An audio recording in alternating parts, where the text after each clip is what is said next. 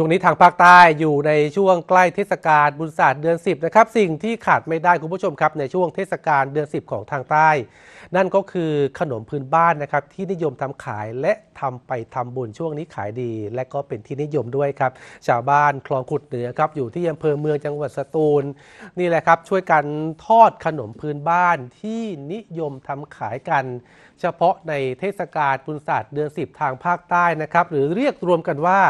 ขนมเดือน 10 นะครับ คุณผู้ชมมีหลายอย่างครับ อย่างเช่นขนมพองขนมบ้า และขนมดีซัมหรือขนมเจาะหู ขนมเดือน 10 ชาวใต้นิยมนำไปฝากญาตินะครับ และนำไปทำบุญอุทิศให้ญาติพี่น้องที่ล่วงลับตามความเชื่อ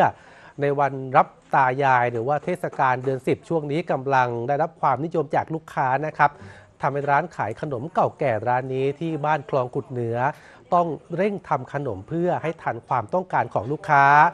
เป้าวันนาเจ้าของร้านเนี่ยเล่าว่าขายขนมพื้นบ้านมากว่า 20 ปีแล้วนะครับ เดิมขายที่นครศรีธรรมราชนะครับ แล้วก็ย้ายไปอยู่สตูล ขนมที่ขายดีที่สุดก็คือขนมเจาะหู หรือขนมดีซัมครับ นอกจากนี้ยังมีขนมลาด้วยนะครับ ขนมลาขายกิโลกรัมละ 140 บาท ใครอยากชิมรสชาติขนมพื้นบ้านภาคใต้แท้ๆหรือว่าต้องการซื้อขนม ไปทำบุญฝากญาติพี่น้องช่วงเทศกาลเดือนสิบแวะไปอุดหนุนเป้าวันนาได้นะครับ ที่คลองขุดเหนือ